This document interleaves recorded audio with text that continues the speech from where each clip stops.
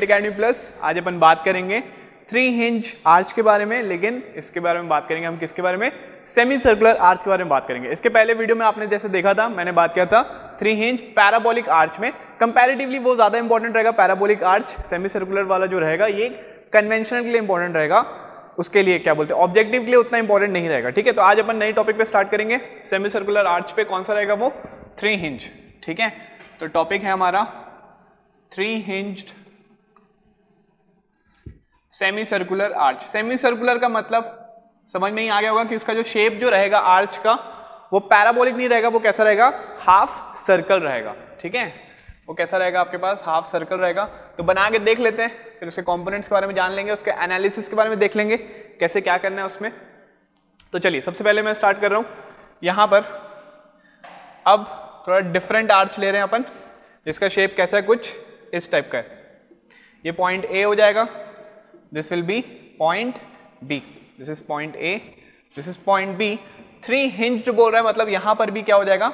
एक और हिंज हो जाएगा। उसको मैं बोल दे रहा हूँ कौन सा? पॉइंट सी ठीक है? ये डायग्राम थोड़ा सही है कि नहीं है? देख लो।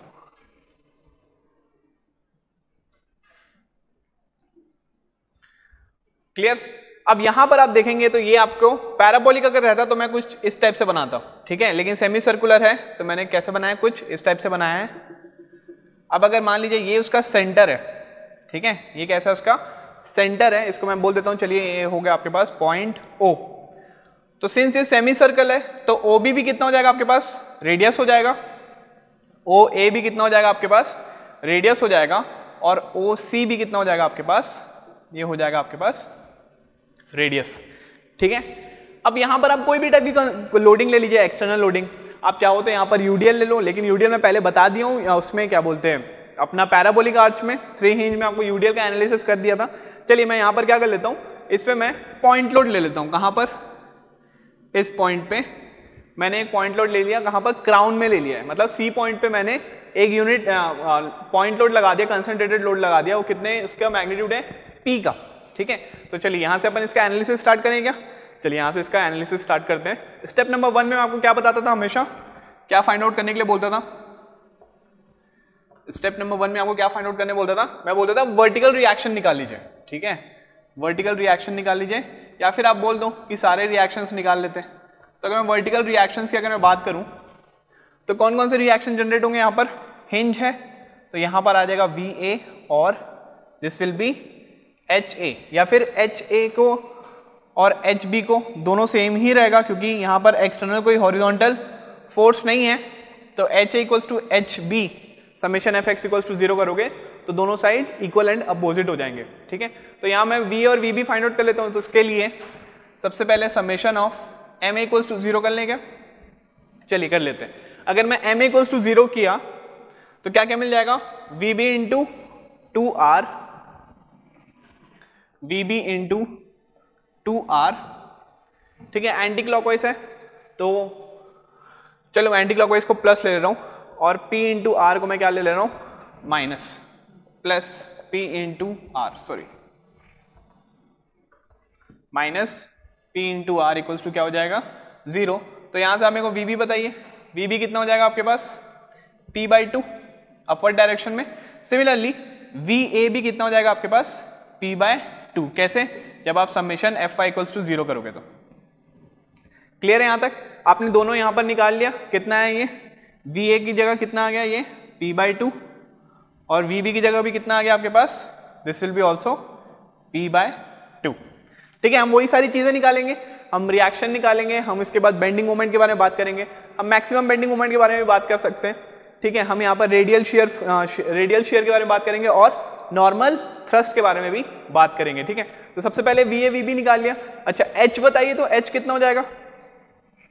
अगर मैं एच के बारे में बात करूँ तो एच कितना हो जाएगा? तो मैं एच के लिए क्या बोलता था? आप क्या कर लो?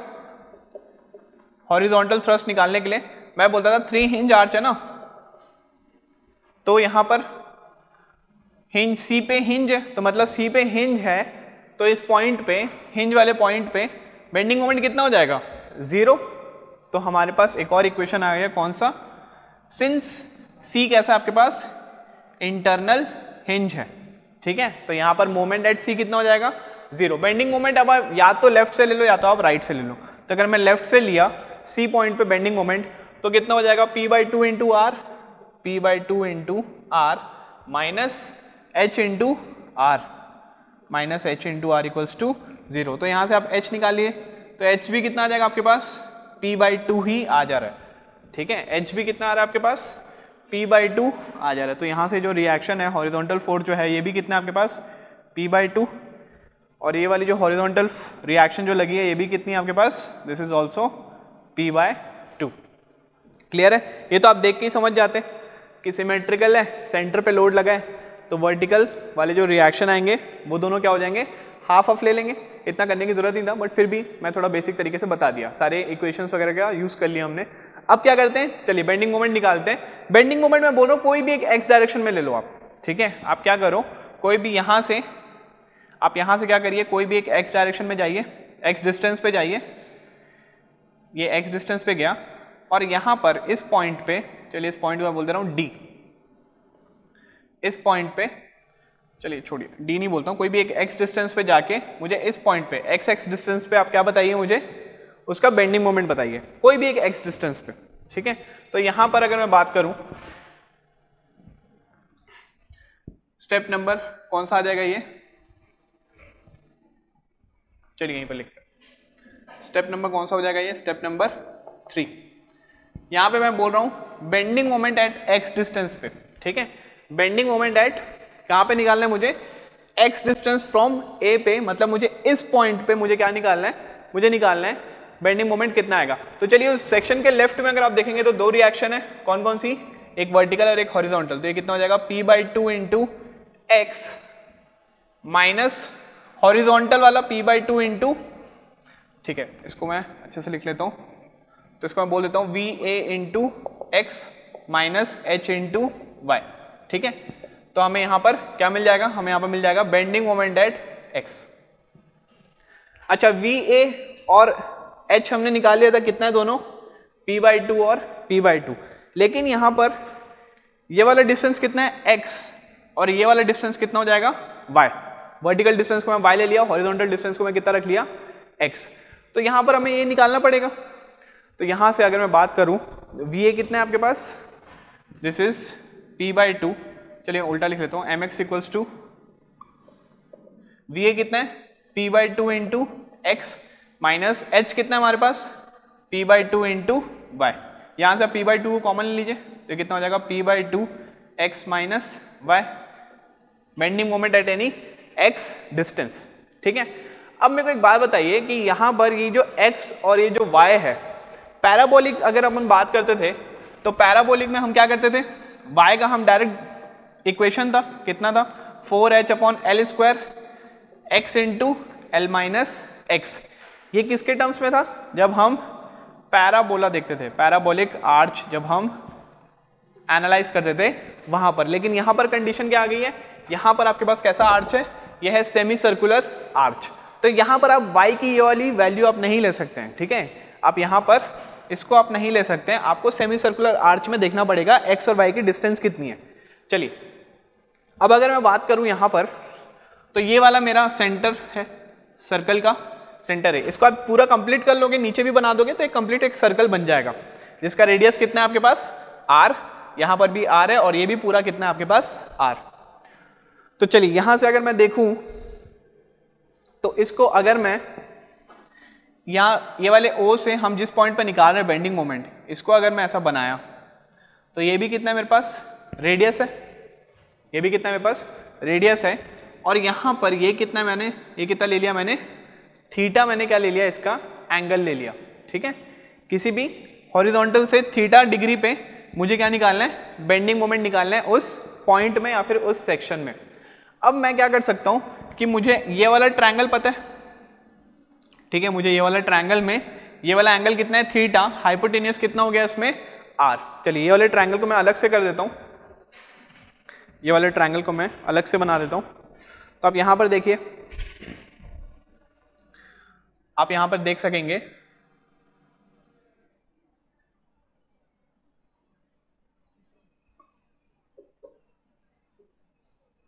ठीक है? ये कितना था आपके पास? मैंने किसी और डिस्टेंस से, मैंने कोई भी एक डिस्टेंस जहाँ पर मैं निकाल रहा हूँ बेंडिंग मोमेंट वहाँ से मैंने एक लाइन खींची है, वो कितना है हमने? हमारे पास रेडियस है आर मुझे वर्टिकल डिस्टेंस चाहिए वाई का। तो यहाँ से अगर मैं साइन थीटा लिखूं साइन थीटा कितना हो जाएगा मेरे पास? वाई बाय आर तो वाई कितना हो जाएगा आपके पास? R into sine theta Y कितना हो जाएगा आपके पास? R into sine theta similarly यहाँ पर मैंने क्या बोला था कि इस पॉइंट पे ये ए पॉइंट था। ए से कैसा जा रहा था आपके पास? ये कुछ इस डायरेक्शन में जा रहा था, ठीक है? ए से कुछ इस डायरेक्शन में आपका सर्कुलर आर्च था। और यहाँ से हमने ये वाला डिस्टेंस जो लिया था, ये कितना था हमारे पास? x. ये वाला डिस्टेंस कितना था हमारे पास? x. तो इस ट्राइंगल से, पहले आप मेरे को ये वाली वैल्यू बता दीजिए। इसको अगर मैं बोल देता हूँ चलिए x डैश बोल देता हूँ, ठीक है? इसको मैं क्या बोल दे रहा हूँ? x डैश तो यहीं से आप क्या कर सकते हो? मुझे x निकालना है। मुझे क्या निकालना है? x और y चाहिए ना, मुझे x निकालना है। तो पहले ये वाले ट्राइंगल से x डैश निकाल लीजिए। तो यहाँ पे cos थीटा अगर मैं लिखूँगा, cos थीटा कितना हो जाएगा हमारे पास? Base upon hypotenuse x dash upon तो यहाँ से x डैश कितना हो जाएगा? X डैश हो जाएगा हमारे पास R cos theta X dash कितना हो गया मेरे पास? आर कॉस थीटा तो ये इसको मैं लिख लेता हूँ। ये हो जाएगा मेरे पास आर कॉस थीटा और ये तो सेंटर था। सर्कल का ये क्या था? सेंटर था। तो टोटल एंड तक कितना हो जाएगा? रेडियस हो जाएगा। टोटल कितना हो जाएगा ये लेंथ रेडियस हो जाएगा। तो मेरा x क्या होगा? X होगा मेरा total radius minus R cos theta तो यहाँ से आप x को ऐसा भी लिख सकते हो, r को कॉमन ले लिया मैंने तो कितना हो जाएगा? वन माइनस कॉस थीटा तो आपको ये चीज़ ध्यान रखना है कि x की वैल्यू कितनी है मेरे पास? r into one minus cos theta और y कितना है मेरे पास? r इंटू साइन थीटा तो आप यहाँ से लिख सकते हैं। आप यहाँ पे लिख सकते हैं कि ये जो x है, ये जो x है, ये x की वैल्यू कितनी है मेरे पास? r into one minus cos theta ठीक है, ध्यान दीजिएगा, आप ये वाला एक्स मत ले लेना, ठीक है, आप इसको एक्स मत लेना लेफ़्ट से जो है ए पॉइंट से हम कोई एक्स डिस्टेंस पे गए, ये एक्स है हमारा, और वाई कितना हो जाएगा वाई हो जाएगा हमारा आर साइन थीटा ठीक है, ये दो चीज़ आप उस ट्राइंगल से आप क्या कर सकते हैं, निकाल सकते हैं तो एक्स और वाई आ गया, अपन बेंडिंग मोमेंट पुट करते हैं तो कितना है हमारे पास P by two X minus Y तो ये कितना हो जाएगा पी बाई टू एक्स कितना है हमारे पास r one minus cos theta minus Y कितना है हमारे पास? आर साइन थीटा ठीक है? तो यहाँ से आप क्या कर लीजिए? आर को कॉमन ले लीजिए तो ये हो जाएगा पी आर बाई टू अंदर क्या बचेगा? अंदर बचेगा one minus cos theta minus sine theta समझ में आया? तो ये क्या है आपके पास? ये आपके पास बेंडिंग मोमेंट है कोई भी एक्स डिस्टेंस पे। कोई भी एक्स डिस्टेंस पे आप चले जाइए सर सेमी सर्कुलर आर्च पे तो आपको ये क्या मिलेगा? आपको उस एक्स डिस्टेंस पे बेंडिंग मोमेंट का जो इक्वेशन मिलेगा, वो कितना मिलेगा? P R by two one minus cos theta minus sine theta समझ में आया? तो एक और फिर से रिवाइज कर लेते हैं। तो यहाँ से हम क्या बोले थे? कि यहाँ से कोई एक्स डिस्टेंस पे जाके हमें इस पॉइंट पे क्या करना है? हमें बेंडिंग मोमेंट निकालना है। ठीक? कोई पॉइंट स्पेसिफाइड नहीं किया तो मैं कोई भी एक एक्स डिस्टेंस पे जाके ले रहा हूँ। तो इसको मैंने क्या मान लिया? इसको मैंने रेडियस मान लिया। ये मुझे ट्रायंगल मिल गया। ये ट्रायंगल मिल गया तो ये आर कॉस थीटा हो गया और ये क्या हो गया आपके पास? आर साइन थीटा तो वाई कितना हो गया आपके पास? आर साइन थीटा और एक्स कितना हो गया? Total R minus R cos theta तो R minus R cos theta तो कितना हो जाएगा? आर ब्रैकेट में वन माइनस कॉस थीटा तो मैंने उसी को पुट कर दिया यहाँ पर। तो मेरा एम एक्स यहाँ पे निकल गया। अच्छा तो ये तो बेंडिंग मोमेंट निकल गया, किसी भी एक्स डिस्टेंस पे तो ये कोई एक स्पेसिफाइड वैल्यू नहीं है। हर एक, अगर आप x का डिस्टेंस चेंज करेंगे तो यहाँ पर आपके पास जो m का जो वैल्यू है वो क्या होगा? चेंज होते रहेगा। अगर मैं आपसे बोलूँ, ठीक है, कि ये तो जनरल इक्वेशन आ गया बेंडिंग मोमेंट का, मैं आपको बोलूँ, कोई आप मेरे को ऐसा बताइए कि सबसे मैक्सिमम बेंडिंग मोमेंट आपको कहाँ पर मिलेगा और कितना मिलेगा, ठीक है? तो अपन उसको फाइंड आउट कर लेते हैं। तो अगर मैं आपसे बोलूँ कि मुझे मैक्सिमम बेंडिंग मोमेंट बताइए स्टेप नंबर फोर में आपसे मैं बोल रहा हूँ। कि आप मुझे क्या बताइए? बेंडिंग मोमेंट मैक्सिमम बताइए। तो मैक्सिमम बेंडिंग मोमेंट की अगर मैं बात करूँ तो आपको पता है मैक्सिमा और मिनिमा का जो कंसेप्ट होता है, कोई भी चीज़ को, कोई भी क्वांटिटी को हमें मैक्सिमम उसको निकालना है वैल्यू तो हम क्या करते हैं? उसका एक डेरिवेटिव लेके इक्वल्स टू कितना कर लेते हैं उसको?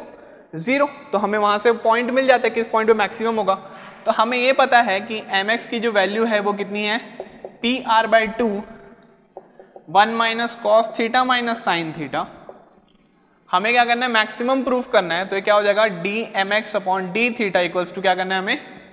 ज़ीरो पुट करना है। तो जब मैं इसको ज़ीरो पुट करूँगा तो क्या हो जाएगा हमारे पास? P R by two one minus नहीं, पहले इसका डिफ्रेंशिएट करना पड़ेगा। इसको डिफ्रेंशिएट करिए। तो ये तो आपके पास कांस्टेंट है, इसको बाहर कर दीजिए। वन का डिफ्रेंशिएशन कितना हो जाएगा? ज़ीरो माइनस कॉस थीटा का डिफ्रेंशिएशन कितना हो जाएगा? कॉस थीटा का होता है माइनस साइन थीटा ऑलरेडी एक माइनस है। एक और बार माइनस साइन थीटा कर देंगे। तो माइनस माइनस क्या हो जाएगा? Plus sine theta minus sine theta का डिफ्रेंशिएशन कितना हो जाएगा? कॉस थीटा इक्वल्स टू क्या हो जाएगा ये? ज़ीरो पहले हमें पॉइंट निकालना पड़ेगा कि कहाँ पर आपका मैक्सिमम बेंडिंग मोमेंट आएगा, फिर हमें वो वाली वैल्यू को पुट करके, इस जनरल इक्वेशन में पुट करके हमें उसकी मैक्सिमम बेंडिंग मोमेंट की क्वांटिटी निकालनी पड़ेगी। तो यहाँ से आप इस, यहाँ से आप थीटा फाइंड आउट करिए। तो पी आर बाई टू को मैं राइट हैंड साइड लेके चले गया। बचा गया हमारे पास? Sine theta minus cos theta equals to zero तो कॉस थीटा को मैं उस साइड लेके गया। तो साइन थीटा कितना हो जाएगा मेरे पास? इक्वल्स टू कॉस थीटा तो आप यहाँ से ऐसा भी लिख सकते हो। कॉस को नीचे लेके आ गया तो कितना हो गया ये? Sine theta by cos theta मतलब टेन थीटा इक्वल्स टू क्या हो जाएगा? वन तो आपको पता है थीटा इक्वल्स टू कितना हो जाएगा आपके पास? 45 डिग्री ठीक है? जब आप थीटा को जब आप 45 डिग्री पुट करोगे, इसका मतलब टैन टैन थीटा वहाँ पर कितना होता है? वन तो ये समझ में आ गया आपको कि जब ये जो थीटा जो आपने लिया है हॉरिजॉन्टल से, मैं किसी भी एंगल पे थीटा पे मैं बेंडिंग मोमेंट का मैंने इक्वेशन निकाल लिया अब मैं बोल रहा हूँ कि मुझे मैक्सिमम चाहिए। मैक्सिमम बेंडिंग मोमेंट कहाँ मिलेगा? तो जब ये हॉरिजॉन्टल से 45 डिग्री पे जाओगे, जब हॉरिजॉन्टल से आप कहाँ गए? 45 डिग्री पे जिस पॉइंट पे आओगे, उस पॉइंट पे जो बेंडिंग मोमेंट निकालोगे, वो बेंडिंग मोमेंट क्या होगा आपका? मैक्सिमम बेंडिंग मोमेंट होगा। समझ में आया? पॉइंट हमने निकाल लिया। थीटा कितना हो गया? 45 डिग्री हो गया। और जो भी पॉइंट आएगा, उस पॉइंट पे बेंडिंग मोमेंट क्या होगा आपका? मैक्सिमम होगा। ठीक है? तो ये आपको समझ में आ गया। थीटा की वैल्यू कितनी है आपके पास? 45 डिग्री। चलिए, यहाँ पर अपन पुट करते हैं। When theta equals to 45 degree. When theta equals to 45 degree. General equation क्या था हमारे पास? एम एक्स का। जनरल इक्वेशन यही वाला है। एम एक्स का। P R by two one minus cos theta minus sine theta तो यहाँ पर अब ये जो थीटा जो मिला है, मुझे मैक्सिमम बेंडिंग मोमेंट निकालना है तो मैं थीटा की वैल्यू कितनी पुट कर दूँगा? 45 डिग्री पुट कर दूँगा तो मुझे यहाँ पर mx की जो वैल्यू होगी, वो क्या हो जाएगी? वो m मैक्सिमम हो जाएगी। ठीक है? तो यहाँ पर मैं पुट करता हूँ। तो मैं यहाँ बोल देता हूँ, m मैक्सिमम इक्वल्स टू क्या हो जाएगा? P R by two one minus cos theta theta की जगह क्या पुट कर दूँ मैं? 45 degree. One minus cos 45 degree minus sine कितना हो जाएगा ये? 45 डिग्री।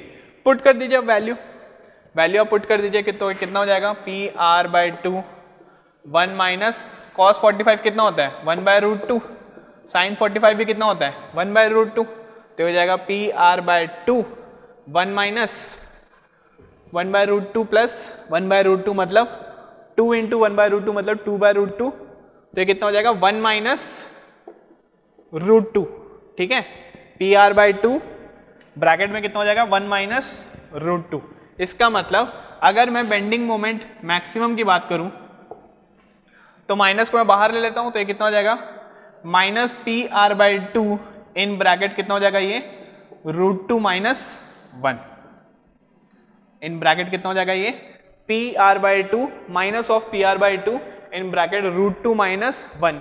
ये जो वैल्यू आई है, ये वैल्यू क्या है आपके पास? ये वैल्यू है आपके पास मैक्सिमम बेंडिंग मोमेंट कितना आया ये minus P R by two root two minus one तो चलिए, यहाँ से अगर मैं बात करूँ अब, कि आप मुझे लोकेट करके बताइए मैक्सिमम बेंडिंग मोमेंट ठीक है? यहाँ पर आप बीएमडी बनाइए. बेंडिंग मोमेंट डायग्राम बना के दिखाइए मुझे. तो अगर मैं आपको बेंडिंग मोमेंट डायग्राम बना के दिखाया इस आर्च का तो कैसा बनेगा? चलिए, देख लेते हैं उसको भी.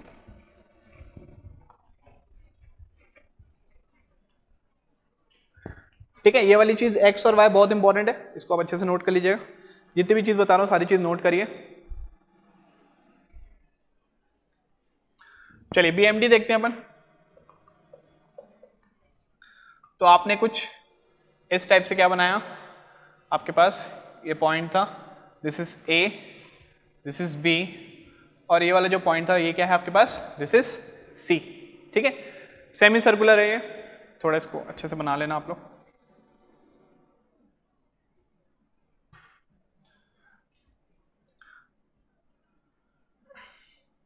क्या है आपके पास दिस इज़ द सेंटर अब मैं बोल रहा हूँ सेंटर में एंगल में कैसे ले रहा था मैं? हॉरिजॉन्टल से ले रहा था। देखिए, ये हॉरिजॉन्टल के साथ बनाया मतलब बेस से मैं एंगल ले रहा था। तो जब मैं बेस से एंगल लेके,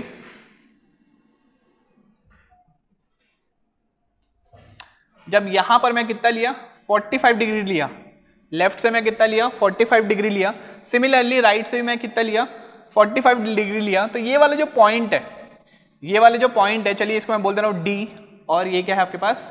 ई e, इस वाले पॉइंट पे क्या मिलेगा? मुझे सबसे ज़्यादा बेंडिंग मोमेंट मिलेगा। मुझे क्या मिलेगा? इस वाले पॉइंट पे सबसे ज़्यादा बेंडिंग मोमेंट मिलेगा। ठीक है? इसको थोड़ा डॉटेड लाइन से बना देना आप लोग।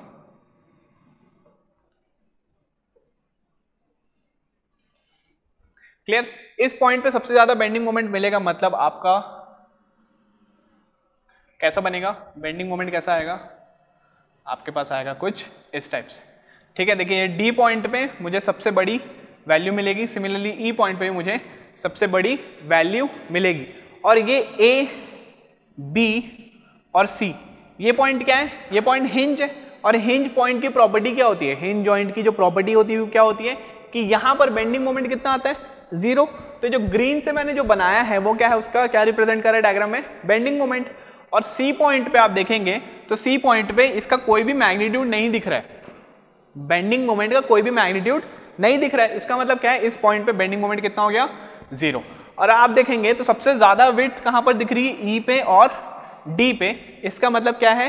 कि डी और ई e पॉइंट पे सबसे ज़्यादा आपके पास क्या है? बेंडिंग मोमेंट आया है। मतलब एम मैक्सिमम आपने जो निकाला है। कितना निकाला आपने? एम मैक्सिमम यहाँ पर देखिए। एम मैक्सिमम की वैल्यू कितनी आई थी? Minus P R by two into root two minus one तो आप डी और ई e पॉइंट पे जो निकाले हैं, ये टोटल बेंडिंग मोमेंट किसमें आपका? नेगेटिव आया है। तो यहाँ पर किसकी वैल्यू कितनी हो जाएगी? इस वाले पॉइंट की, ये हो जाएगी P R by two root two minus one similarly इस पॉइंट पे भी कितना हो जाएगा? ये होगा P R by two root two minus one और इसको आप क्या कर देना? इसको आप शेड कर देना। ये क्या आपके पास? ये है आपके पास बेंडिंग मोमेंट डायग्राम क्लियर तो आप देखेंगे कि आपको यहाँ से बेस से 45 डिग्री पे आपको क्या मिलेगा आपको? मैक्सिमम बेंडिंग मोमेंट मिलेगा. समझ में आया? तो ये क्या था उसका? बेंडिंग मोमेंट था. आपको पहले जनरल इक्वेशन निकालना पड़ेगा कोई भी एक एक्स डिस्टेंस पे. और एक्स डिस्टेंस पे आपने जनरल इक्वेशन निकाल लिया बेंडिंग मोमेंट का. अगर कोई भी क्वांटिटी को हमें मैक्सिमम चाहिए तो हम क्या कर लेते हैं? उसका डिफरेंशिएट मैक्सिमम मिनिमम का कंसेप्ट यूज़ करते हैं. डी डी बाई डी जिस जिस भी टर्म्स में आप निकाल रहे हैं, यहाँ पर मैं एंगल पे निकाल रहा हूँ तो इक्वल्स टू कितना हो जाएगा? ज़ीरो एंगल पे क्यों निकाल रहा हूँ? अगर ये लीनियर क्वांटिटी होती स्ट्रेट लाइन होती या वर्टिकल क्वांटिटी होती तो वहाँ पर मैं डिस्टेंस के टर्म पे निकालता। वहाँ पर क्या करता मैं? D M X upon D X के टर्म में निकालता। बट सिंस ये क्या है? ये एंगल पे आ रहा है, ठीक है? यहाँ पर क्या हो रहा है? एंगल चेंज हो रहा है। एक्स चेंज नहीं हो रहा है यहाँ पर। एंगुलर यहाँ पर क्या आ रहा है? चेंजेस आ रहे हैं तो इसलिए मैं किस पे, किसके टर्म्स में निकालूँगा? डी थीटा के टर्म्स में इक्वल्स टू ज़ीरो पुट किया तो मुझे वहाँ पर थीटा की वैल्यू मिल गई मैक्सिमम कहाँ पर मिलेगा?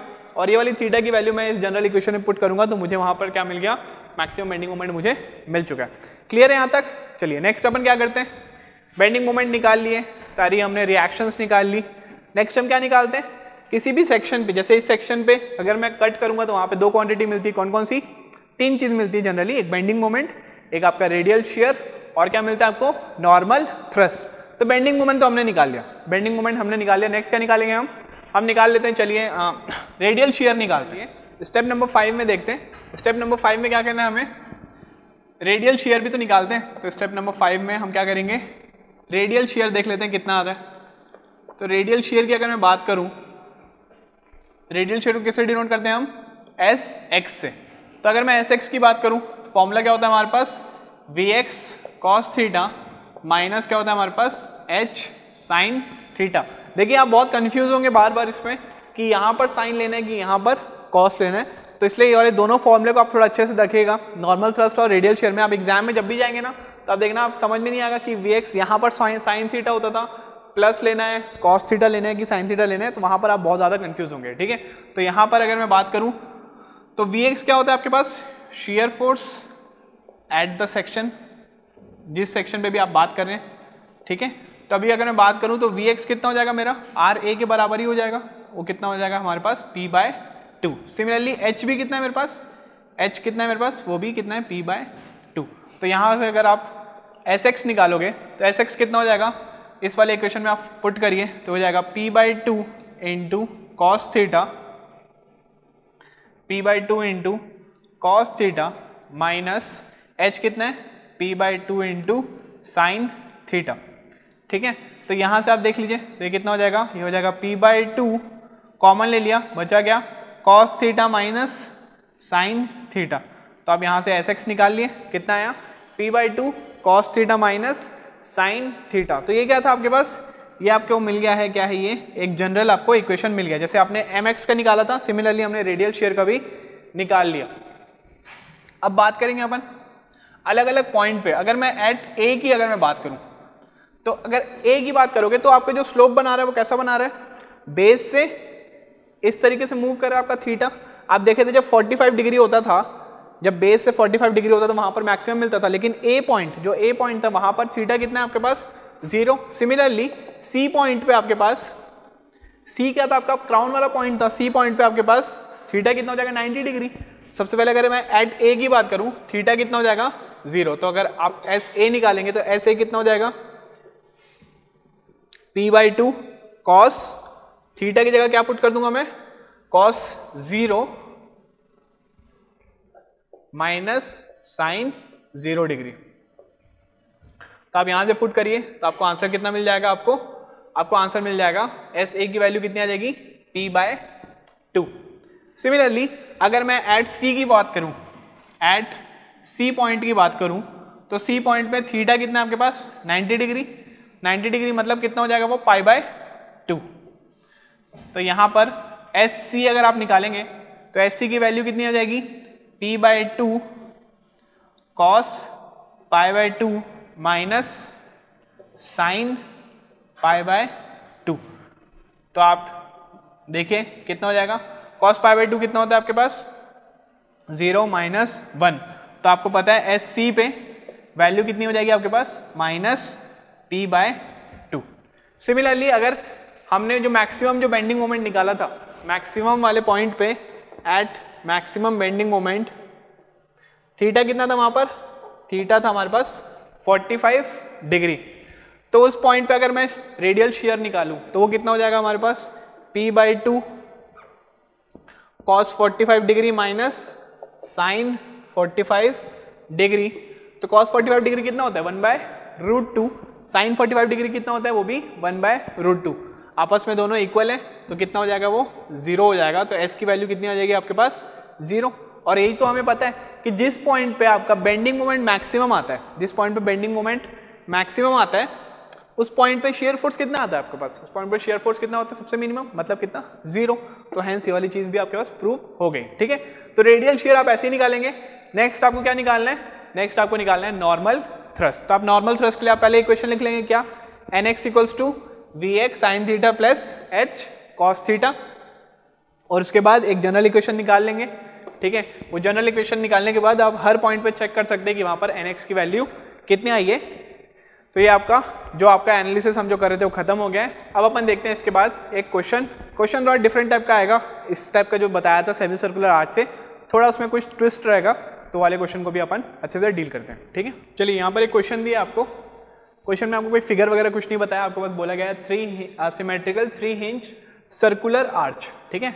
आपके पास कैसे है? एक सर्कुलर आर्च है has a span of 25 metre and a rise of central hinge 5 metre मतलब जो राइज जो होता है, ठीक है, वो कितना आपके पास? 5 metre it carries a vertical load of 100 kilo newton at 6 metre from the left hand मतलब क्या बोलते हैं? जो लेफ़्ट वाला जो पॉइंट होगा, वहाँ से आपको सिक्स मीटर पे कितना लगा आपके पास? हंड्रेड किलोमीटर का फोर्स लगा है। Find the bending moment radial shear and normal thrust at five metre from A तो चलिए सबसे पहले इसका फिगर बना लेते हैं, ठीक है? फिगर सबसे ज़्यादा इंपॉर्टेंट है सर्कुलर आर्च में। पैराबोलिक में तो आप बना लोगे, मुझे पता है। सर्कुलर आर्च में थोड़ा सा फिगर को थोड़ा सा इंपॉर्टेंटली आपको देखना पड़ेगा। चलिए सबसे पहले एक सर्कुलर आर्च मैंने बनाया, ठीक है? मैंने एक सर्कुलर आर्च बनाया। थ्री हिंज है तो ये एक, दो और ये तीसरा। This is A this is B and that is C आपको बोला गया कि यहाँ पर टोटल जो इसके पास जो लेंथ जो है टोटल जो लेंथ है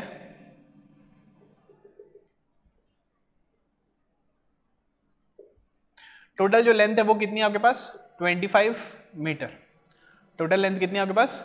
25 मीटर और दूसरी चीज़ आपको बोल रहा है and a rise of central hinge is 5 metre ठीक है? तो ये जो राइज जो है, ये कितना आपके पास? 5 मीटर है। It carries a vertical load of 100 kilo newton at 6 metre at 6 metre मतलब जब आप यहाँ से कुछ आप 6 मीटर गए तो आपको इस पॉइंट पे, चलिए डी पॉइंट बोल दे रहा हूँ। यहाँ पर आपके पास, नहीं सॉरी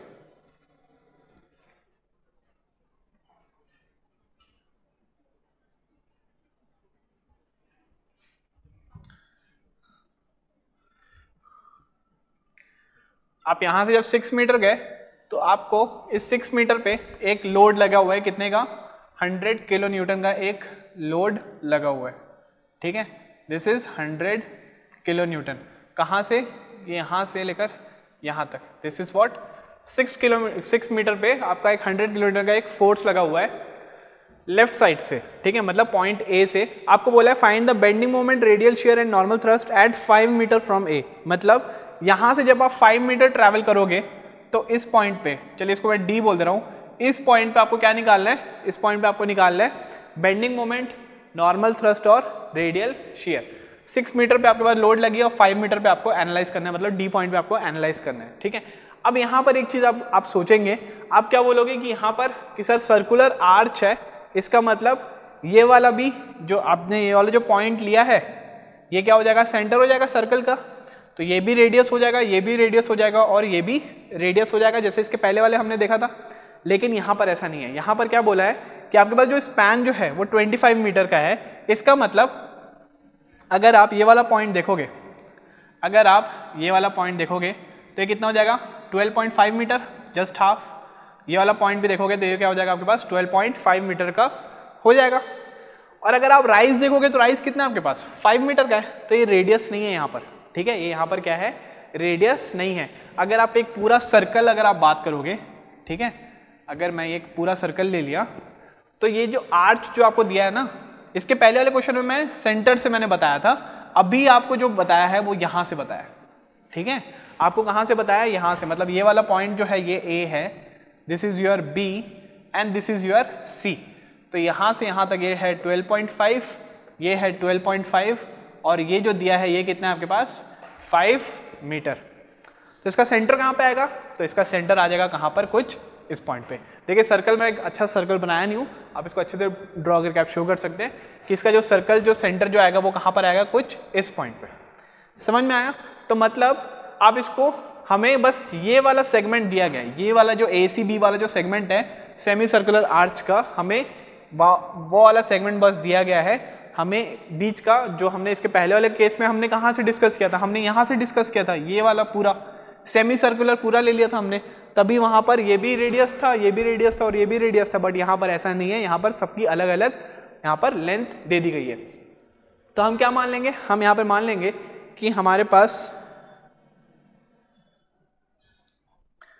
जो सेंटर है वो कहाँ से है? वो इस पॉइंट पे है, ओ।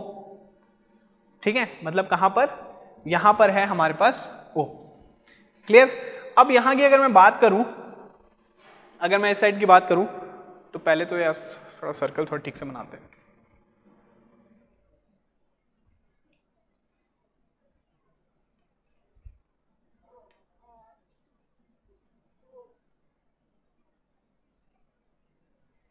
ठीक है? थोड़ा सा कुछ इस टाइप का है। अब यहाँ पर अगर मैं बात करूँगा तो ये वाला जो पॉइंट है ये जो है, ये कितना है हमारे पास? This is your radius similarly ये जो होगा, ये भी क्या हो जाएगा आपके पास? रेडियस हो जाएगा। तो अगर मैं यहाँ की बात करूँ तो टोटल मेरे पास कितना हो जाएगा? टोटल मेरे पास कितना हो जाएगा? ये टोटल कितना हो जाएगा? टू आर हो जाएगा। ये टोटल अगर मैं बनाया, ऊपर से लेकर नीचे तक डायमीटर कितना हो जाएगा आपके पास? टू आर हो जाएगा। और यहाँ पर मेरे को एच की वैल्यू राइस की वैल्यू दे दिया गया है। राइस कितना दिया है मुझे? एच इक्वल्स टू कितना दिया है मुझे? Five metre H equals to five metre दिया है तो ये कितना हो जाएगा? यहाँ से लेकर यहाँ तक कितना हो जाएगा? Two R minus H clear है? ये कितना हो जाएगा आपके पास?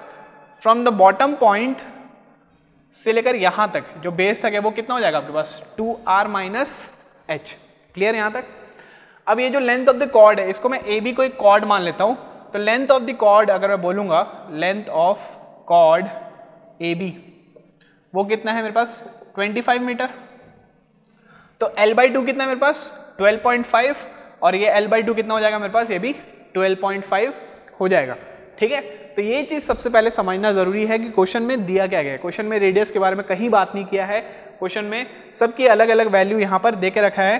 तो आप इसको रेडियस मत समझ लेना किसी भी चीज़ को कि इसके पहले तो हमने रेडियस देखा था सेमी सर्कुलर आर्च में बट यहाँ पर रेडियस के बारे में बात नहीं की गई है। ठीक है? तो एक सर्कल समझ में आया कंसेप्ट समझ में आया टू आर माइनस एच कैसे आया? एच यहाँ पर गिवन है। टोटल डायमीटर कितना था? टू इंटू रेडियस तो माइनस यहाँ पर एच कर दिया तो टू रेडियस माइनस एच करेंगे तो हमें यहाँ से लेकर यहाँ तक की हाइट हमें मिल जाएगी। क्लियर चलिए, इतना मेरे को समझाना था। अब यहाँ से हम क्या करते हैं? हमारा एनालिसिस पार्ट को स्टार्ट करते हैं। सबसे पहले क्या करते हैं हम? सबसे पहले वही चीज़ करते हैं जो हमेशा से करते आए। क्या? रिएक्शन फाइंड आउट करना। स्टेप नंबर वन क्या रहेगा हमें? टू कैलकुलेट द रिएक्शन चलिए रिएक्शन देखते हैं। ए पे कितने रिएक्शन आएँगे? ए पे दो रिएक्शन आएगा कौन कौन सा? वी ए यहाँ पर क्या आ जाएगा? एच सिमिलरली यहाँ पर क्या आ जाएगा? वी बी और यहाँ पर क्या आ जाएगा? दिस इज़ ऑल्सो एच चलिए वी ए वी बी बताइए सबसे पहले, क्या कर लेता हूँ मैं? Summation of M A to zero कर ले। ठीक है? तो क्या क्या मिलेगा हमें? हमें मिल जाएगा वी बी इंटू चलिए minus V B into twenty five plus hundred into six और कोई फोर्स नहीं इक्वल्स टू ज़ीरो तो यहाँ से आप मेरे को वी बताइए। वी कितना हो जाएगा? Hundred into six divide by twenty five तो ये कितना हो जाएगा? सिक्स फोर ज़ार ट्वेंटी फोर किलो न्यूटन ठीक है? वी बी आ गया। अब अगर मैं वी ए की बात करूँ तो अगर ये 24 है तो वो कितना हो जाएगा? 100 माइनस ट्वेंटी तो ये कितना हो जाएगा आपके पास? 76 kilo newton summation F I equals to zero करोगे तो V A plus V B किसके बराबर हो जाएगा आपके पास? 100 के बराबर। तो वी ए कितना हो जाएगा? 100 माइनस वी बी मतलब कितना हो जाएगा ये?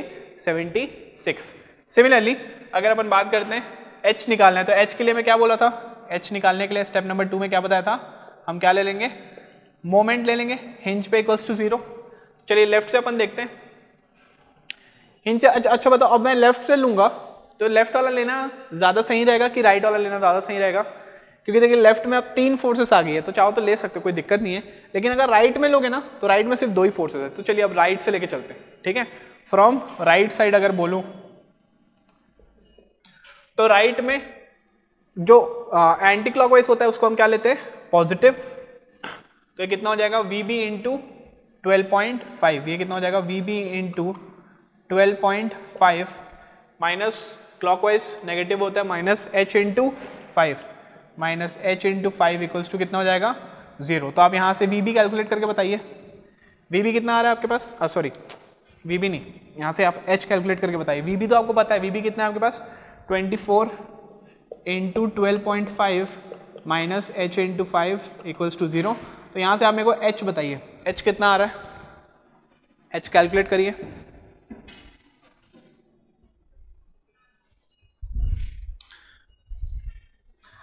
एच कैलकुलेट करिए 24 four into twelve point five divide by five कितना आ रहा है आपके पास? 60 किलो न्यूटन 60 किलो न्यूटन तो यहाँ से आपने निकाल लिया ये दोनों चीज़ आपने निकाल ली। अब क्या बचा है हमारे पास? अब हमें बोला है कि यहाँ पर आपको फाइंड आउट करना है क्या? यहाँ पर आपको फाइंड आउट करना है इसका bending moment radial shear normal thrust किस पॉइंट पे फाइंड आउट करना है आपको? डी पॉइंट पे। मतलब यहाँ से जब आप फाइव मीटर पे आप करोगे, जब आप फाइव मीटर पे आपको लेना है इस पॉइंट पे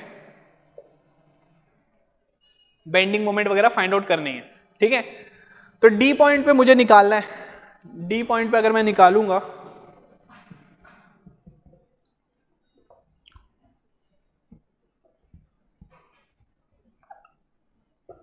बेंडिंग मोमेंट निकालना है। तो बेंडिंग मोमेंट निकालने के लिए अगर मैं डी पॉइंट पे निकालू तो एमडी की वैल्यू कितनी हो जाएगी?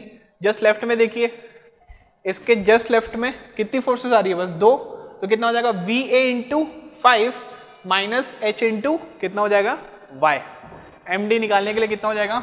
V A into five minus H into कितना हो जाएगा ये? वाई अच्छा वी ए बताइए। वी ए कितना है आपके पास?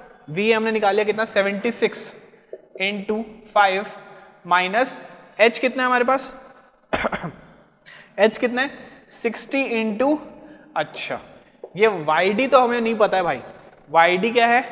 वाई डी हमें नोन नहीं है। तो वाई डी निकालना सबसे बड़ा चैलेंज हो जाएगा यहाँ पर। ठीक है? पैराबोलिक अगर होता, जब हम पैराबोला में बात करते थे तो पैराबोला में क्या होता था? कि हम y का सीधा सीधा इक्वेशन हमें पता है। Four H upon L square four H upon L square X into L minus X देखिए, मैं बार बार इसलिए बोलता हूँ, सर, आप बोलोगे कि, क्या सर, आप हमेशा ये वाला फॉर्मूला लिख लेते हो? अगर मैं बार बार लिखूँगा तो आपको तुरंत याद हो जाएगा। आपको इसको अलग से याद करने की ज़रूरत नहीं पड़ेगी। ठीक है? और ये वाला फॉर्मूला इवन आपके बाद में अगर आप आरसीसी वगैरह भी पढ़ोगे ना तो वहाँ पर भी यूज़ होगा। स्टील वगैरह में भी हो सकता है, कहीं पर यूज़ आ जाए। आरसीसी में जब प्री स्ट्रेस केबल वगैरह जो यूज़ करते हैं वहाँ पर तो वहाँ पर भी वाला इक्वेशन आप यूज़ करते हैं। तो बेटर है ना दो तीन बार ज़्यादा सुन ले, ताकि हमें वाला इक्वेशन याद हो जाए। ठीक है? पैराबोलिक आर्च में हम ये वाई का हम डायरेक्ट निकाल लेते हैं। लेकिन अभी हम वाई के लिए ये वाला इक्वेशन लिख सकते हैं नहीं, क्योंकि हमें दिया क्या गया? हमें दिया गया पैराबोलिक तो है नहीं सेमी सर्कुलर आर्च है। ठीक है? सर्कुलर आर्च के बारे में बताया है तो हम यहाँ पर इस वाले वाई को हम यूज़ नहीं कर सकते। ठीक है? तो अब हमें क्या करना पड़ेगा? हमें वाई निकालना पड़ेगा। हमें वाई निकालना पड़ेगा। तो इसके पहले मैंने आपको वाई निकालना सिखाया था, लेकिन वो अलग था Y equals to R sine theta आया था। उसमें क्या हो रहा था कि ये भी रेडियस था, ये भी रेडियस था, ये भी रेडियस था। सेंटर से बना था। वो वाला जो आर्च था वो यहाँ से सेंटर से बना था तो सारे ये भी रेडियस ये भी रेडियस ये भी रेडियस मिल गए थे। तो वहाँ पर y की वैल्यू कितनी हो गई थी? r साइन थीटा लेकिन यहाँ पर आपके पास जो y जो है, वो सेंटर से नहीं है, वो कहाँ से है आपके पास? हमें y ये वाला चाहिए, ये वाला। ये जो है, ये y चाहिए। कहाँ से ये आपका 5 मीटर x से जो होगा, हमें उसका हमें क्या चाहिए? Y पॉइंट चाहिए। कैसे निकालेंगे? कैसे निकालेंगे उसको? तो चलिए, उसको निकालने के लिए हमें समझना पड़ेगा। थोड़ा सा चैलेंजिंग रहेगा बट अपन देखते हैं कैसे निकालना है, ठीक है? तो अगर मैं बात करूँ यहाँ पर, इसको मिटा दूँ क्या मैं? इसकी ज़रूरत पड़ेगी क्या आगे? अच्छा ठीक है, इसको रहने देते हैं। यहाँ पर एक नया बनाते हैं।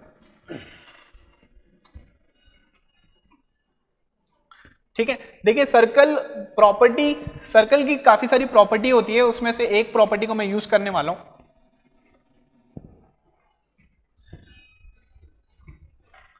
सर्कल का एक प्रॉपर्टी रहेगा, उसको मैं यूज़ करूँगा कि अगर डायमीटर से, उसके सेंटर से, जो डायमीटर जो है, वहाँ से कोई भी अगर एक कॉर्ड एक कॉर्ड जो होता है ए बी कैसा दिख रहा है मुझे? मैंने क्या लिखा है यहाँ पर? एक कॉर्ड लिखा है। तो बाइसेक्ट कर रहेगा उसके डायमीटर को तो प्रॉपर्टी ऑफ़ सर्कल के लिए हमारे पास एक सर्कल था। ठीक है? ये सर्कल था, जिसमें हमने देखा था कि ये हमारे पास क्या है? आर्च है और ये क्या है हमारे पास? सेंटर पॉइंट है। This is A this is B and this is C तो हमने एक चीज़ देखी थी कि यहाँ से लेकर यहाँ तक हमारे पास क्या है? राइज है। इस पॉइंट से लेकर ऊपर तक हमें राइज गिवन है और ये हमारे पास सर्कल का सेंटर है। और टोटल ये वाला पॉइंट टोटल यहाँ से लेकर सी तक, ठीक है? वो क्या है? डायमीटर है मतलब टू आर है। यहाँ से लेकर यहाँ तक डायमीटर मतलब टू आर है। तो यहाँ से लेकर यहाँ तक कितना हो जाएगा? टू आर माइनस एच तो ये कितना हो जाएगा? Two R minus H clear similarly A B के आपके पास एक कॉर्ड है। कॉर्ड की लेंथ कितनी है आपके पास? 25 मीटर मतलब एल बोल दे रहा हूँ। तो यहाँ से अगर मैं बोलूँ, ये कितना है आपके पास? एल बाई टू ये भी कितना है आपके पास? एल बाय टू क्लियर अब यहाँ से आप समझना कि प्रॉपर्टी ऑफ़ सर्कल क्या बोलता है?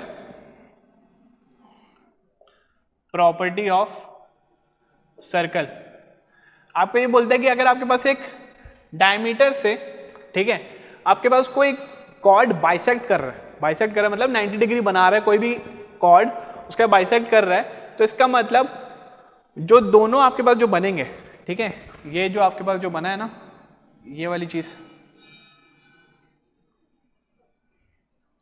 इसको मैं बोल रहा हूँ V1 वर्टिकल डिस्टेंस वन और यहाँ से लेकर यहाँ तक इसको मैं बोल रहा हूँ V2 vertical distance two similarly इसको मैं बोल रहा हूँ हॉरिजॉन्टल डिस्टेंस वन और इसको मैं बोल रहा हूँ हॉरिजॉन्टल डिस्टेंस टू ठीक है?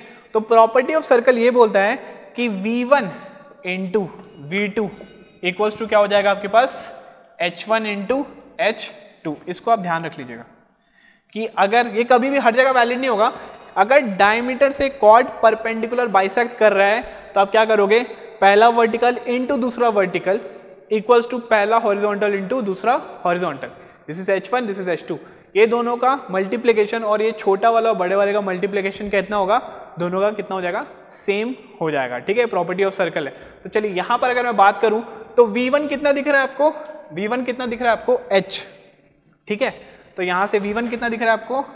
H इन टू V2 कितना दिख रहा है आपको? 2R आर माइनस एच कितना दिख रहा है आपको? 2R R minus H equals to H one जो हॉरिजॉन्टल लेंथ है पहले वाली की, वो कितनी है आपके पास? L by two in to दूसरा वाला आपके पास जो हॉरिजॉन्टल डिस्टेंस है, वो कितनी है आपके पास? L बाय टू तो यह ए कहाँ से है आपके पास? ये प्रॉपर्टी ऑफ़ सर्कल से आ चुका है। ठीक है? मतलब h into two R minus H equals to L square upon four तो यहाँ से अगर अपन बात करेंगे, ठीक है तो यहाँ से मुझे वाई डी निकालना है। इस वाले बेंडिंग मोमेंट को निकालने के लिए मुझे सबसे पहले क्या निकालना है? कैलकुलेट वाई डी तो प्रॉपर्टी क्या है हमारे पास? प्रॉपर्टी से हमने देखा कि h into two two R minus H equals to कितना हो जाएगा? L by two into L by two H rise आपको दे दिया गया फाइव मीटर का। रेडियस के बारे में आपको पता नहीं है। रेडियस के बारे में नहीं पता है। एल कितना दिया आपको? 25 मीटर आपको दे दिया गया है लेंथ ऑफ़ आर्च ठीक है? एल आपको दे देगा 25 मीटर। तो यहाँ से आप मेरे को आर बता दीजिए। आर कितना आ जाएगा? आपके पास आर कितना आ जाएगा? तो आप इसको कैलकुलेट करिए मतलब कितना हो जाएगा? Ten R minus twenty five equals to twenty five by two into twenty five by two calculate करिए मेरे को आर बताइए। कैलकुलेट करके मेरे को आर बताइए।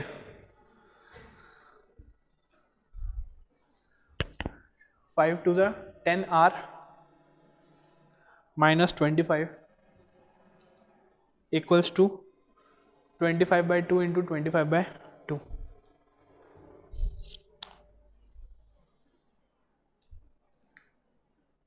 R कितना आ रहा है आपके पास? मेरे पास जो वैल्यू आ रही है वो कितनी आ रही है? Eighteen point one two five metre. ठीक है? मेरे पास जो आर की वैल्यू आ रही है रेडियस की वैल्यू आ रही है, वो कितनी आ रही है? Eighteen point one two five metre. तो यहाँ से मैंने क्या निकाला? इस प्रॉपर्टी ऑफ़ सर्कल से मैंने रेडियस निकाल लिया।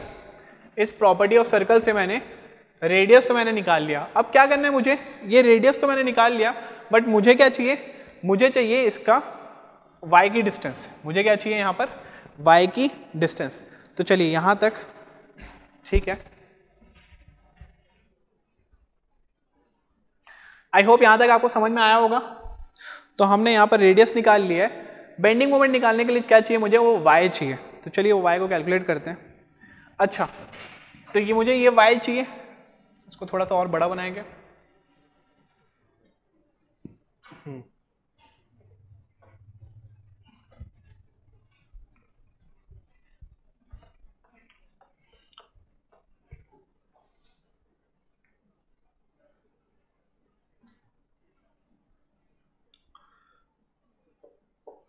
This is A, this is B, this is C. ठीक है यहाँ पर कहीं पर आपका क्या हो जाएगा? सेंटर मिलेगा आपको। यहाँ पर कहीं पर आपको क्या मिल रहा है? सेंटर और मुझे सेंटर से मुझे पता है कि ये क्या हो जाएगा मेरा? रेडियस सेंटर से ये क्या हो जाएगा मेरे पास?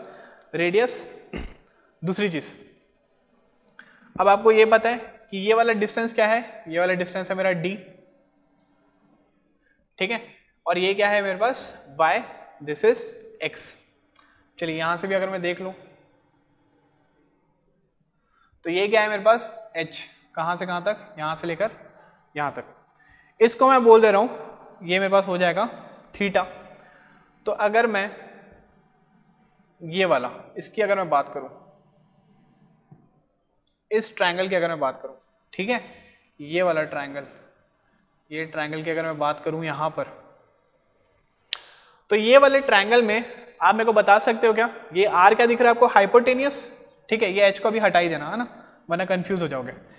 ठीक है तो ये अगर ये हाइपोटेनियस है, ये एंगल है तो ये कितना हो जाएगा आपके पास? आर साइन थीटा हो जाएगा। साइन थीटा क्या होता है? परपेंडिकुलर अपॉन हाइपोटेनियस तो ये इसकी वैल्यू अगर आप देखोगे तो कितना आ जाएगा आपके पास? आर साइन थीटा सिमिलरली इसकी अगर मैं बात करूँ, इसकी अगर मैं बात करूँ तो ये कितना हो जाएगा? आर कॉस थीटा ठीक है पूरे वर्टिकल की अगर मैं बात करूँगा, पूरे वर्टिकल की बात करूँगा तो वो कितना हो जाएगा? आर कॉस थीटा मुझे क्या चाहिए? मुझे चाहिए ये वाला वाई डिस्टेंस मुझे क्या चाहिए? मुझे चाहिए ये वाला वाई डिस्टेंस तो अब मेरे को बात बताइए वाई निकालने के लिए वाई निकालने के लिए अपन देख सकते हैं यहाँ पर टोटल अगर मैं यहाँ तक की अगर मैं बात करूँ टोटल अगर मैं यहाँ तक की बात करूँ तो ये कितना हो जाएगा मेरे पास? टोटल कितना है ये? यहाँ से लेकर यहाँ तक। ये कितना है मेरे पास? रेडियस आर है। ठीक है? रेडियस आर है और मैं अगर आर ये कितना हो जाएगा? This is R cos theta हाँ तो R minus R cos theta करे तो मुझे ये मिल जाएगा। चलिए टोटल जो है टोटल कितना है आपके पास? ये वाला टोटल डिस्टेंस मतलब सी से लेकर ओ तक कितना आपके पास? रेडियस है। माइनस क्या कर दूँगा मैं? ये वाला ट्रायंगल का जो हाइट है, ये कितना है आपके पास? आर कॉस थीटा तो अगर मैं सिर्फ़ ये ट्रायंगल से लेकर सी तक का डिस्टेंस लूँगा तो ये कितना हो जाएगा? ये हो जाएगा R minus R cos theta हो जाएगा। R minus R cos theta इसका मतलब क्या, कैसे लिख सकता हूँ मैं इसको? ऐसे लिख सकता हूँ क्या? R one minus cos theta कहाँ से कहाँ तक? सिर्फ़ ये वाला पोर्शन ठीक है? मतलब ये टोटल अगर आर है तो अगर मैं सिर्फ़ ये वाला पोर्शन लिख रहा हूँ, सिर्फ़ ये वाला पोर्शन तो ये कितना हो जाएगा? R one minus cos theta ठीक है? और आपको ये पता है कि ये वाले पॉइंट से सी तक, ये कितना आपके पास? एच है। मतलब यहाँ से लेकर यहाँ तक ये कितना आपके पास? एच है। तो वाई डी कितना हो जाएगा? वाई डी कितना हो जाएगा? यहाँ से लेकर यहाँ तक। तो h minus R one minus cos theta हो जाएगा। ठीक है? वाई डी कितना हो जाएगा आपके पास? वाई डी हो जाएगा h minus R one minus cos theta ये समझ में आया? देखिए डायग्राम अच्छे से समझिए, ठीक है? यहाँ से मैंने रेडियस ले लिया, उस रेडियस से मैंने एंगल पे मैंने एक ट्रायंगल बनाया तो ये कितना हो जाएगा? आर साइन थीटा और ये पूरा जो बेस जो बना है, वो कितना हो जाएगा? R cos theta total top most point तक कितना है? रेडियस है। तो सिर्फ़ अगर मैं इत, इतनी हाइट अगर निकालूं तो कितना हो जाएगा? Radius minus R cos theta तो कितना हो जाएगा? R one minus cos theta अब मुझे वाई चाहिए। वाई मतलब यहाँ से लेकर बेस तक कितना है वो? एच है राइज है। तो rise minus R one minus cos theta किया। तो मुझे क्या मिल गया? वाई डी मिल गया कितना? H minus R one minus cos theta ठीक है? सिमिलरली अगर आप यहाँ से देखेंगे तो ये कितना आपके पास? ये आर साइन थीटा है। इसका मतलब यहाँ से लेकर यहाँ तक। ये कितना आपके पास? आर साइन थीटा और ये कितना आपके पास? ये एक्स है। और आपको पता है कि ये वाली जो डिस्टेंस है, ठीक है, अगर मैं यहाँ की बात करूँ तो हमें ये क्या है आपके पास? This is your X and this is your R sine theta और ये किसके बराबर? है ये किसके बराबर है? एल बाई टू के बराबर है। मतलब कितना? 12.5 के बराबर है। तो मैं यहाँ पर ऐसे लिख सकता हूँ क्या?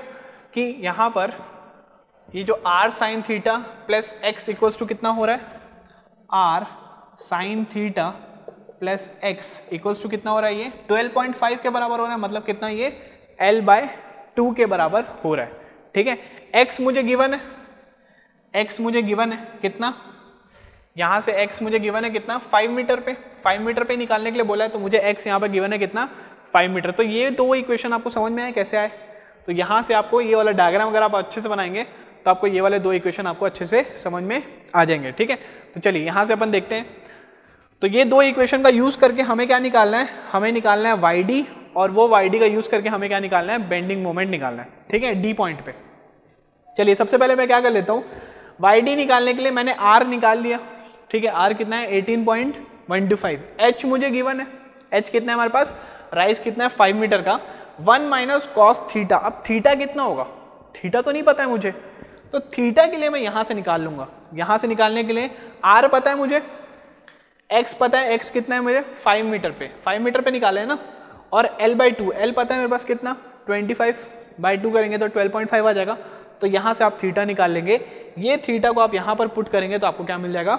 वाई डी आपको मिल जाएगा। क्लियर तो चलिए यहाँ पर अपन दो इक्वेशन लिख लेते हैं। सबसे पहले क्या बताया मैंने? R sine theta plus X equals to क्या होता है आपके पास? L by two R sine theta plus X equals to L by two तो इसको पुट करते हैं। तो ये कितना हो जाएगा? Eighteen point one two five into sine theta plus X की वैल्यू कितनी है हमारे पास? Five metre equals to twenty five by two मतलब कितना हो जाएगा ये? ट्वेल्व पॉइंट फाइव तो यहाँ से आप मेरे को साइन थीटा की वैल्यू बताएँ। साइन थीटा की वैल्यू बताएँ और या फिर आप मेरे को डायरेक्ट थीटा की वैल्यू बताएँ। थीटा की आप मेरे को वैल्यू बताएँगे।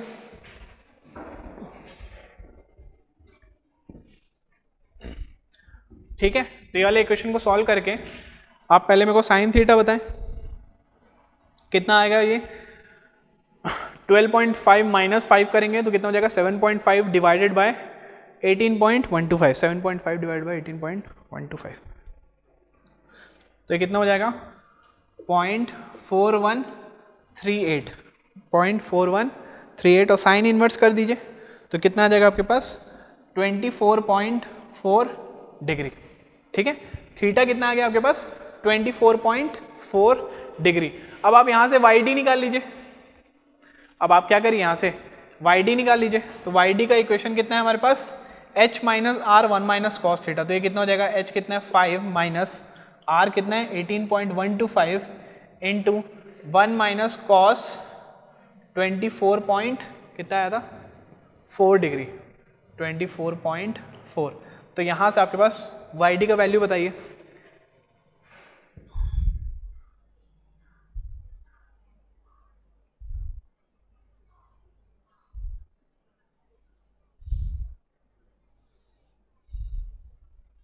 कितना आ रहे हैं? Three point three seven five metre. ठीक है? थोड़ा सा कचरा हो गया, मेरे को पता है ये चीज़। ठीक है? अब ज़्यादा वरी मत करना। थोड़ा सा बस आप ये डायग्राम अच्छे समझ जाएँगे ना तो आपको अच्छे समझ में आ जाएगा। ये डायग्राम आप बहुत नीट एंड क्लीन बनाना, ठीक है? मेरे डायग्राम उतने अच्छे से बने नहीं है, ठीक है? तो आप इसको डायग्राम को बहुत अच्छे से बनाना। प्रॉपर्टी ऑफ़ सर्कल वगैरह को आप अच्छे से ध्यान रखेगा तो वाई डी की वैल्यू कितनी आ गई मेरे पास? 3.375 तो यहाँ पे पुट करिए बेंडिंग मोमेंट ले। कितना है ये? 76.5 minus sixty into three point three seven five. Value put करके मेरे को बताइए कितना है? M D